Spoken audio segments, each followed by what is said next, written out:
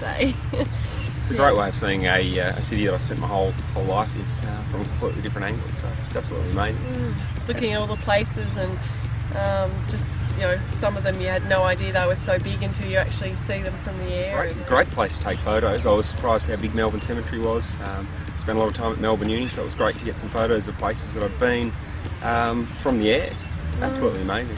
When the sun comes up as well, just the difference of the light on the building. Thank you.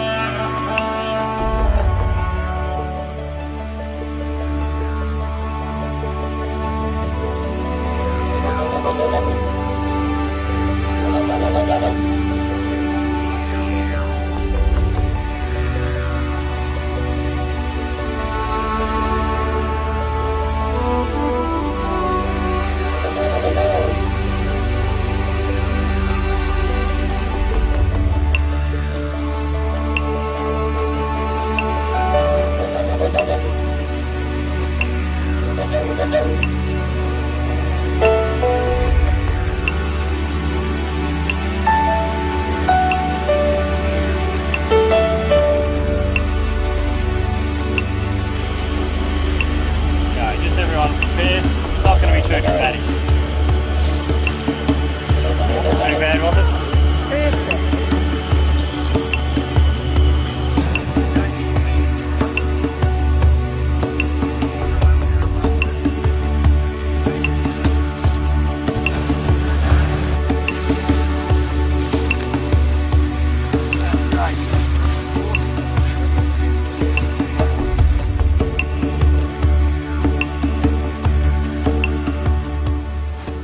Dream come true actually. it's sure an experience.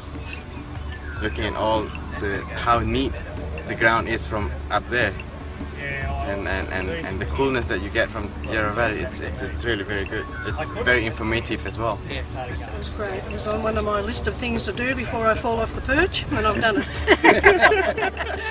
The highlight was looking over all the vineyards, seeing all the tops of the houses, various wildlife underneath you in the early hours of the morning.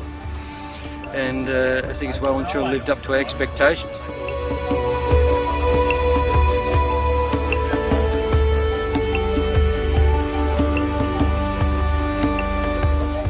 You just hover there above all the, the, the vines, the grapes. You think you're actually going to pick them for a minute there, but you don't.